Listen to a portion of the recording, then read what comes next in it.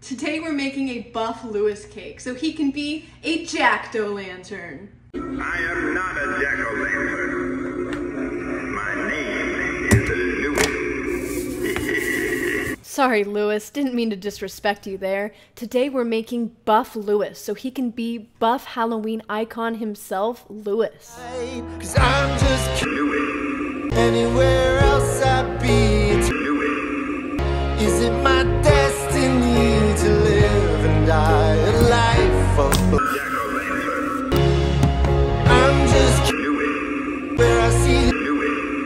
she sees a Jack-o'-lantern.